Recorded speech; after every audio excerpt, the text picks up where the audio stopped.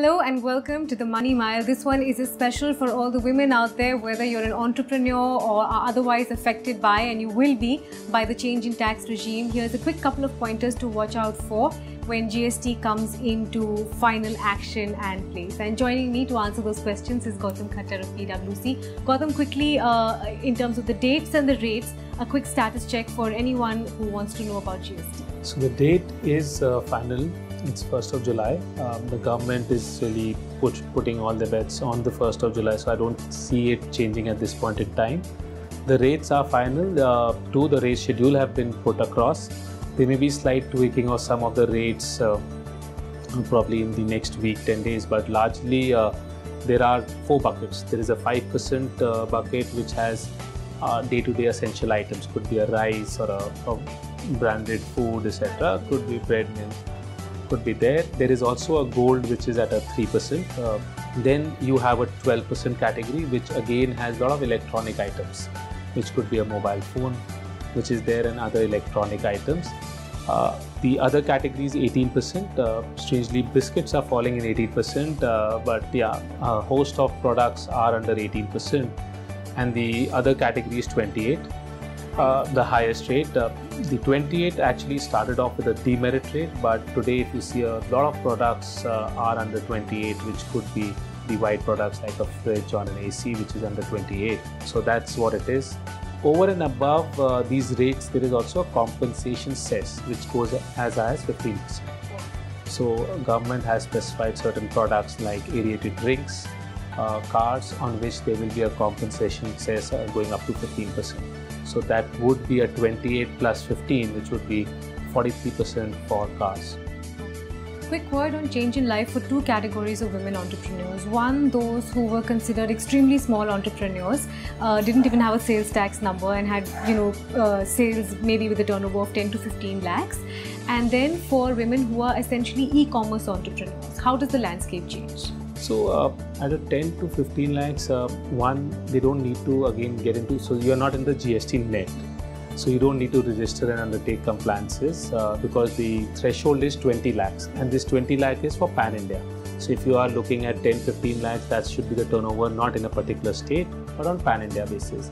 So if the threshold is less, it is all right. You not life doesn't change too much on the output side, but there is uh, when you're buying or if you're running um, from a rented place as an example there is a service tax today which is 15% uh, that increases to 18 so some of the services which you are buying today uh, those cost is likely to increase from a 15 to 18% so that would be a slight increase in cost uh, for entrepreneurs which are not in the gst net.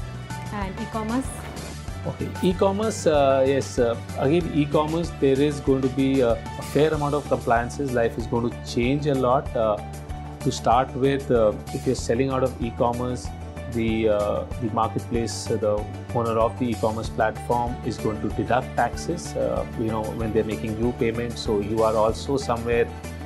your name would flash in the net or in the government tax portals. So, so therefore, the onus is that everyone would be more of a tax compliant uh, person. Uh, today, e-commerce uh, there was rate arbitrage uh, on a lot of products. Some of the depending on depending which on the, which state you are on. So e-commerce could be selling from some of the states where there was this uh, rate arbitrage. That goes away. So therefore, uh, there is a level playing field which happens. So while there is a level playing field, the downside being that there is increased compliances. Well, for the For- government, for that's the an government. upside actually. Between now and the 1st of July, Gautam, any do's and don'ts that you put out for entrepreneurs or women at large in terms of keeping this GST change in mind? So uh, again, entrepreneurs uh, for this largely what you'll have to look at the technology. So to the extent you are covered under GST, there is going to be a fair amount of compliances. These compliances, as you go along, it's not something which could be done manually. So you need to have an interface, uh, a, a ERP system or a solution which interfaces with the government solution. So that needs to be there to enable you to undertake compliance. So that's something which everyone, if not right now, but as you go along, Upgrade your technology. upgrade your technology, the focus has to be on technology.